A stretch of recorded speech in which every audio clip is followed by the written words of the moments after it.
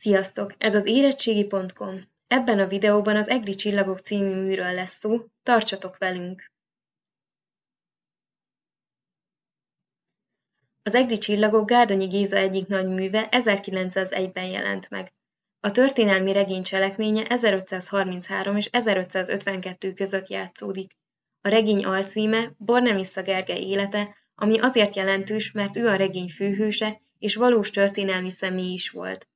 A regény számos olyan karaktert jelenít meg, akik a valóságban is léteztek. Erre példa Dobó István, Szulimán szultán vagy Török Bálint. Természetesen számos kitalált szereplővel is találkozunk, például Jumurdzsák karaktere csak a regény kedvéért született meg. A regény a mai napig nagy jelentőséget képvisel a magyar irodalomban, hiszen kötelező olvasmányként a mai napig találkozhatunk vele.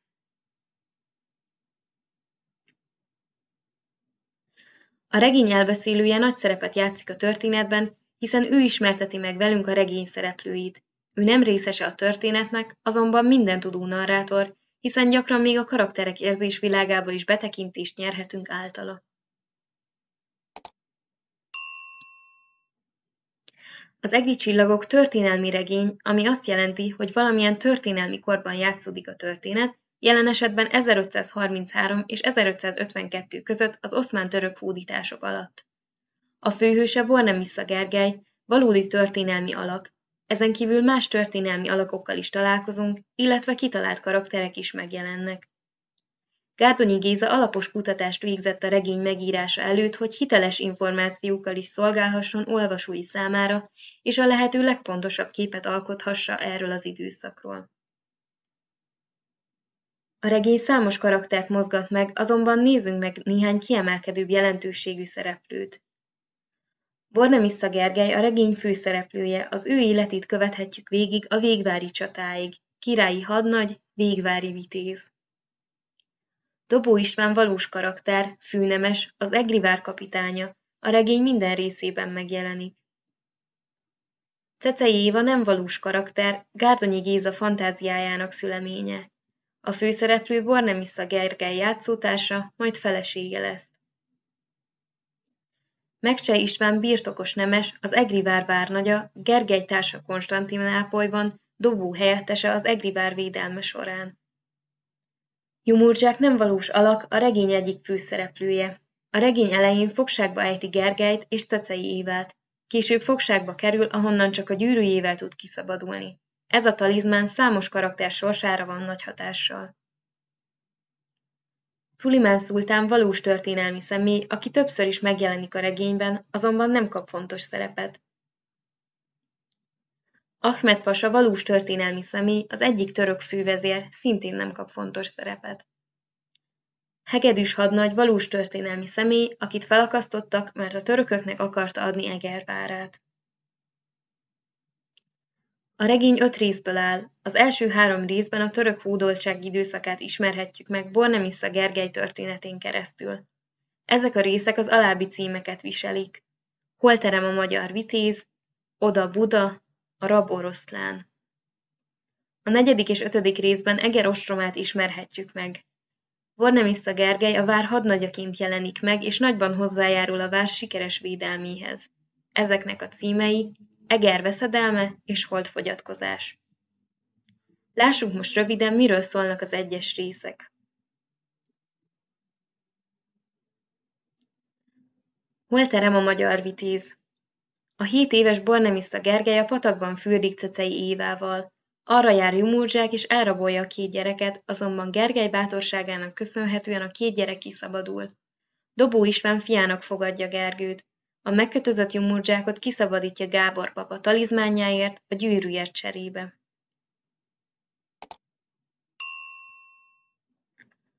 Oda Buda Gábor pap, Gergely és János cselteszelnek ki, hogy egy nagy gödröt ásnak, amiben lőport tesznek, és fel fogják robbantani a másnap arra járó török szultánt. Az éjszakát a cecei házban töltik, akik már Budára költöztek. Másnap reggel Gergely sehol sem találja Gábor papot, aki egyedül ment el felrobbantani a török szultánt. Az amulettet ott hagyja Gergőnél. A robbantás nem sikerül, a szultán helyett a janicsáraga hal meg. Ezután elfogják a papot és Gergelyt is, aki sikeresen kiszabadul. Jumurcsák nem tudja visszaszerezni az amulettet, mert Gábor pap már halott. Gergely Budára megy figyelmeztetni a ceceiéket.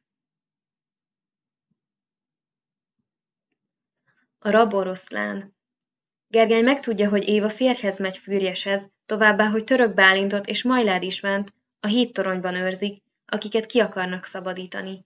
Kiderül, hogy csak a királyni akarja férjhez adni vicust, így Gergő megszökteti.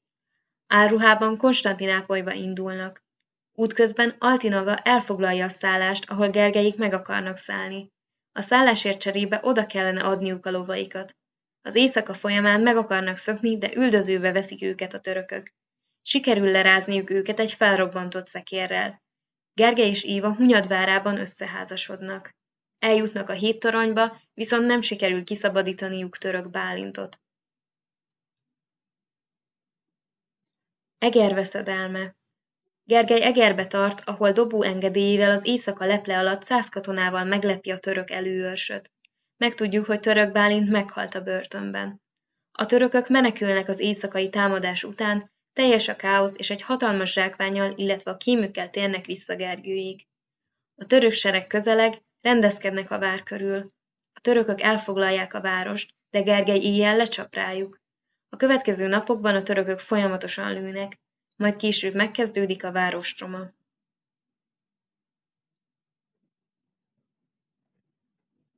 Holdfogyatkozás Az ostrom után mindkét fél pihen. Hegedűs nem hisz a győzelmükben, és előáll egy hazugsággal a lázadásról. Éjszaka törököket enged be, de rajta kapják és felakasztják. Éva érkezik az Egri várba, ahol megmutatja a hajván által készített térképet a várról. Az alagutakat befalasztatják.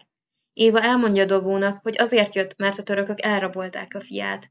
Dobó megesketi, hogy nem szól erről Gergőnek, hogy nyugodtan tudja védeni a várat. Az ostrom hosszadalmas és számos veszteséggel jár. Október 12-re a törökök teljesen szétlövik a várat, viszont érkezik a királyhada. Azonban sosem érkezik meg a segítség, így egyedül kell megvédenünk a várat, ami sikerül is. Ha tetszett a videó, nyomjatok a like gombra és kövessétek csatornánkat, hogy ne maradjatok le az érdekesebbnél érdekesebb tartalmakról.